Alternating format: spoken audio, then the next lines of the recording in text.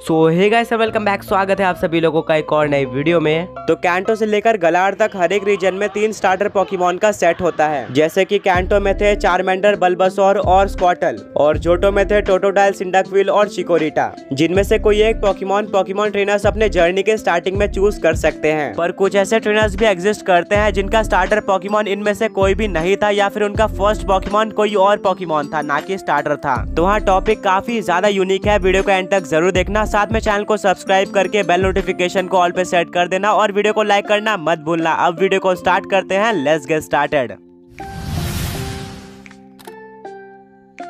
video start करने से पहले मैंने इसका पार्ट वन बना के रखा है। अगर आपको कोई ट्रेनर मिसिंग लग रहा है तो वो वीडियो को चेकआउट कर लेना। लिंक डिस्क्रिप्शन में मिल जाएगी। Number one Volkner Volkner Sinnoh region से एक इलेक्ट्रिक टाइप जिम लीडर है। वॉकनर की चाइल्डहुड स्टोरी हमें एनिमे में दिखाई गई थी, जहाँ पे वो आते जाते ट्रेनर्स को चैलेंज किया करता था। और एक बार वॉकनर को फ्लिंट मिला, जिसको वो चैलेंज करता है बट वो वॉकनर से बैटल हार गया। और आगे जाके वॉकनर दोबारा से फ्लिंट को चैलेंज करता है बट इस बार वॉकनर जीतता है, जिससे दोनों के बीच में राइवलरी क्रिएट हो जाती है। आगे जाके फ्लिंट एक इलाइट फोर मेंबर बन जाता है और वॉकनर सिनो का जिम लीडर बन जाता है। पर इसी चाइल्डहुड स्टोरी में ये भी रिवील किया गया था की वॉकनर का सबसे पहला पॉकीमोन था पिकाचू जो कि वॉकनर के जिम लीडर बनने से पहले ही रायचू में इवॉल्व हो गया था और ये भी ऐश के पिकाचू के तरह पॉकीबॉल के बाहर रहता है। और अपने चाइल्डहुड में वॉकनर ने फ्लिंट के साथ दोनों बैटल में अपने पिकाचू को ही यूज़ किया था।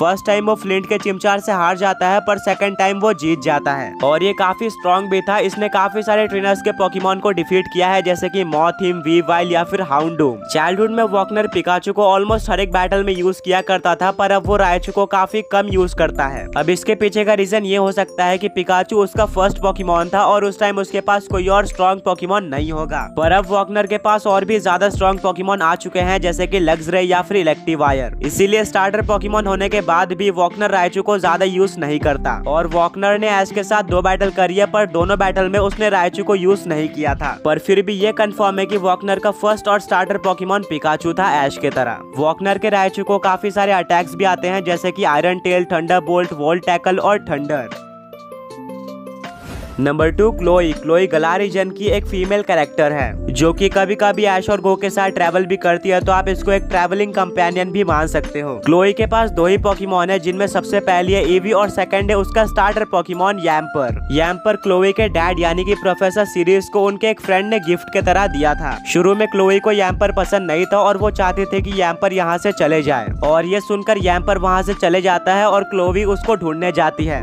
तभी क्लोवी पे काफ़ी सारे वेनोनेट अटैक कर देते हैं। तभी वहाँ पे यैम्पर आके सारे वेनोनेट को भगा देता है, जिससे यार क्लोवी यैम्पर को पसंद करने लगती है। और यैम्पर पूरे फैमिली में सबसे ज़्यादा क्लोई को ही पसंद करता है। हालाँकि अभी तक क्लोवी ने पॉकीबॉल का यूज़ करके यैम्पर को कैच नहीं किया है। पर फिर भी क्लोवी और यैम्पर में काफ़ी अच्छी बॉन्डिंग है। इवन यैम्पर क्लोवी के अलावा किसी और के हाथ से खाना नहीं खाता। तो हाँ क्लोवी का सबसे पहला या फिर स्टार्टर पॉकीमोन यैम्पर है। और यैम्पर को सिर्फ़ और सिर्फ़ एक ही अटैक आता है, जो की है Spark number three, Misty. Misty Ash की ट्रैवलिंग कंपेनियन है और कैंटो की वाटर टाइप जिम लीडर है। मिस्टी की चाइल्डहुड स्टोरी हमें एनिमे में दिखाई गई है, पर उसमें ये कंफर्म नहीं किया गया है कि मिस्टी का फ़र्स्ट या फिर स्टार्टर पोकेमोन कौन था। पर अगर आप मिस्टी के टीम को ध्यान से देखोगे तो आपको ये पता चलेगा की उसके पास कैंटो से लेकर गलार तक का कोई भी स्टार्टर नहीं है। तो डेफिनेटली मिस्टी को अपने जर्नी के स्टार्टिंग में कोई भी स्टार्टर नहीं मिला था, और जिस पॉकीमोन के सबसे ज़्यादा चांस है मिस्टी के फ़र्स्ट पॉकीमोन या फिर स्टार्टर होने के तो वो है स्टारयू स्टारयू उन कुछ पॉकीमोन में से एक जो की मिस्टी के पास ऐश के साथ ट्रैवल करने से पहले था। दोनों की बॉन्डिंग काफ़ी ज़्यादा अच्छी है और भले ही मिस्टी के पास इसका इवॉल्व फॉर्म स्टारमी है बट फिर भी वो स्टारियो को यूज़ करना ज़्यादा प्रीफर करती है। इनफैक्ट किसी भी बैटल में मिस्टी की सबसे पहली चॉइस स्टारियो होता है। तो हाँ ये कंफर्म नहीं है कि मिस्टी का फ़र्स्ट या फिर स्टार्टर पॉकीमोन कौन था बट ये कंफर्म है कि मिस्टी को कोई और स्टार्टर मिला था।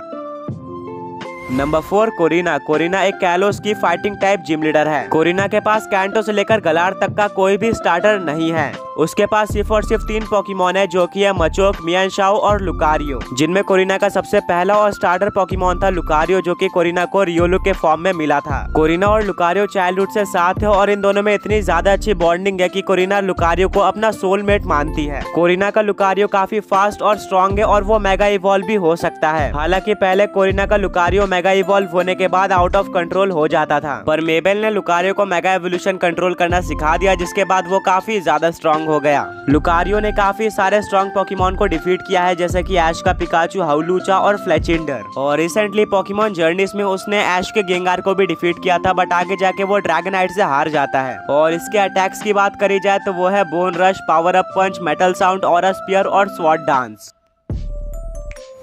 नंबर फाइव पे आती है सिंथिया। सिंथिया सिनो की चैंपियन है, जिसका सबसे पहला और मेन पॉकीमोन है गारचॉम जो कि मेगा इवॉल्व भी हो सकता है एंड ये काफ़ी ज़्यादा स्ट्रॉन्ग है। अगर ये वीडियो मैं कुछ दिन पहले बनाता तो डेफिनेटली यहाँ पे सिंथिया का गारचॉम नहीं होता, क्योंकि हमें कभी भी एनिमे में सिंथिया या फिर गारचॉम की चाइल्डहुड स्टोरी नहीं देखने को मिली। पर रिसेंटली सिंथिया के चाइल्डहुड का एक ऑफिशियल पोस्टर रिलीज़ किया गया है, जहाँ पे उसके पास एक गिबल है। और हाँ ये सिंथिया का गारचॉम्प है, जो की सिंथिया को गिबल के फॉर्म में मिला था एंड अब वो फुली इवॉल्व हो चुका है। है गारचोम में। और हाँ जो चीज़ इस बात को और भी कंफर्म कर देती है कि गारचोम सिंथिया का स्टार्टर था, वो ये है कि सिंथिया के पास कोई भी स्टार्टर नहीं है एनएमए में। तो हाँ हम ये मान सकते हैं कि सिंथिया का स्टार्टर गारचोम था, क्योंकि ज़्यादातर स्टार्टर्स के साथ ये ट्रेनर्स की अच्छी बॉन्डिंग होती है। सिंथिया और गारचोम ने मिलकर काफ़ी सारे ट्रेनर्स को डिफीट किया है। जैसे की यूनोवा की चैंपियन आयरिस यूनोवा की इलाइट फोर कैटलिन सिनो के तीन इलाइट फोर फ्लिंट लूशन और एरन और लास्ट में आता है पॉल जिसको सिंथिया ने काफ़ी इजीली डिफीट कर दिया था। और सिंथिया के गार्चम को काफ़ी सारे स्ट्रॉन्ग अटैक्स आते हैं। जैसे कि outrage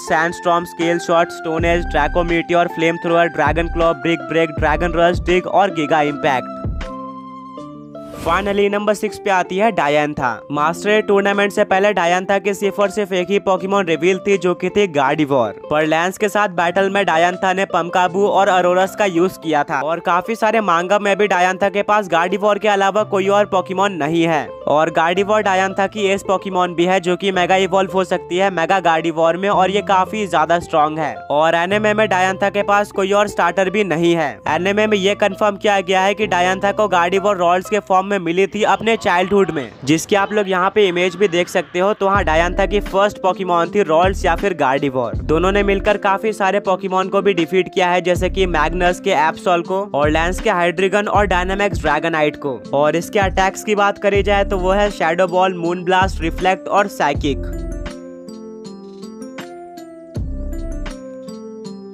वेल गाइस यही था आज के इस वीडियो में। अगर आपको वीडियो पसंद आई है तो लाइक करना मत भूलना। साथ में चैनल को सब्सक्राइब करके बेल नोटिफिकेशन को ऑल पे सेट कर देना। तो हाँ दोबारा मिलेंगे एक और ऐसी औसम वीडियो के साथ। Until then peace out